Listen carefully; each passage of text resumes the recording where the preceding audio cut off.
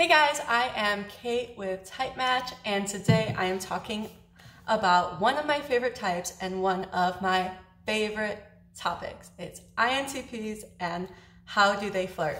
So I am fascinated by um, the topic of flirting. I think like I'm an ESTP and I learn a lot from observing and it's just so interesting to me like what works for people, what draws people in and I love um, finding out more about that dynamic, like how people act when they're attracted to somebody. And I'm very excited to talk about how INTPs flirt because I did a poll on Instagram um, asking each of the types how they flirt. And the INTP answers were by far the most interesting, you could say. So um, let's get into it and let's find out the top eight ways that INTPs flirt. So, number one way that INTPs flirt, maybe you guys can guess, is that they say that they don't at all. Like, it's either I don't or badly, weirdly, awkwardly, just not happening. Um, so, for all those INTPs out there who don't flirt, maybe this video can be helpful to you and you can learn from other people who report that they are INTPs and how they can flirt. Or maybe watch my one that I'm going to do about ESTPs because I really think that ESTPs are the best flirts. So number one, that they, they just don't. Number two, fun facts. And I love this answer because it's so funny like to imagine that it's like I'm imagining I see like a cute guy over there and I look at him like, hmm, he's cute. I'm gonna go tell him that a blue whale's heart is the size of a Volkswagen Beetle. Like, what do you mean? Although honestly, I love fun facts so much. I love hearing them. I I love telling people them, but it's never done like as an intention of a flirting. Um, but if somebody did that to me, I would think like, one, awesome opener like and two like i'm i'm already like drawn in. Like that was funny that that's what you came to say to me. Um, and it was interesting. You added value to my day. So you know kind of a funny way to flirt but maybe effective. So try that intps i bet you know a lot of fun facts. Uh, number three is compliments which i would say if an intp does compliment you, they must think very highly of you because I don't think INTPs um, give compliments likely and they're kind of also awkward when receiving uh, compliments because they, they're like, oh, I, don't, I don't like that kind of like praise. It's, it's weird. I don't know how to react. Um, so if an INTP does compliment you, they're, they're definitely interested. Number four, which I think is a huge one for INTPs, humor um, because INTPs that I've known are super playful, they are witty, they love banter, um, they love sarcasm, puns, um, all kinds of stuff. And, you know, like one person wrote insults, and it's like, okay, yeah, but like when INTPs do do insults, it's, it's always like in a playful way of like, yeah, you're an idiot, but I'm also an idiot, so um, I like you. Um, and people also wrote, uh, say weird shit until they laugh. And yeah, probably. And like a five year old boy that bullies slash annoys the girl he has a crush on. Um, so I guess, yeah, that sounds like a very INTP ish way to go about flirting because um, they're very they're very playful and fun.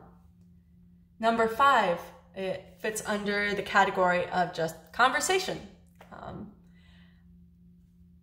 I, and I have three subtopics for, that I have down for conversation. Um, testing their worldview, which I don't know if I would call testing a person's worldview um, flirting. I think it's more like trying to see what kind of person they are and if you're interested in them and if you want to continue talking to them.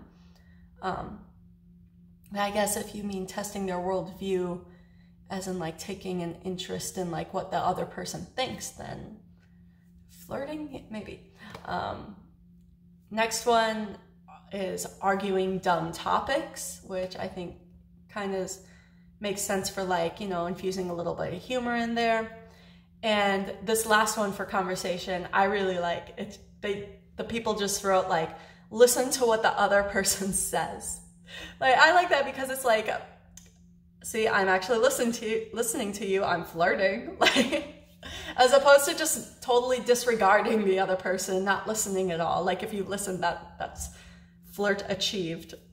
Um, but you know, INTPs can can be rather aloof and not pay attention to what the other person, what other people in the room are doing. So I guess listening counts as flirting.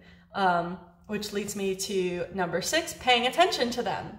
Right? As opposed to just not paying attention to them. It's like, oh, I'm here, I'm talking to you, I'm paying attention to you. Like, obviously, I like you. Um, and studying the person. Now, I think this is a big one for INTPs because they are all about, you know, learning and understanding. And if they like you, they're going to want to study you. Number seven, looks from afar. Now, what they wrote here though was not what it's not probably what you're thinking in terms of looks from afar, where it's like a very coy, like interested, but like at the last minute look away shyly, like, you know, cute flirty look. It's, um, we have here creepy stares from afar and investigates and stare. oh, INTPs. and number eight, um, I think this is also an extremely realistic way that I have seen INTPs flirt, and that is just online.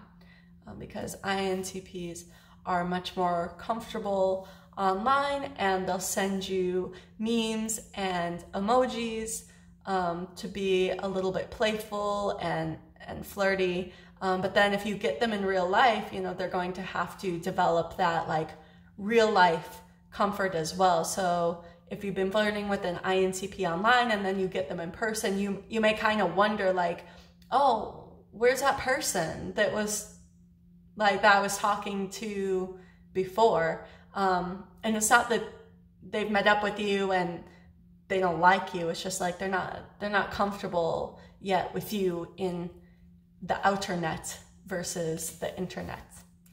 Um, so yeah, if you are interested in an INTP and you're wondering, do they like me back? Um, I mean, maybe these are some hints for you. Do they tell you fun facts? Uh, do they actually listen to what you say or talk to you at all? Uh, do they stare at you? Do they send you memes and emojis? Are they playful with you? Or are they are they awkward when they're around you? Um, I guess these can all be hints that an INTP might like you. And if you want to find your own INTP or an are an INTP um, looking to meet someone else, you can check out the Type Match app on iOS and Android and typematchapp.com for more information.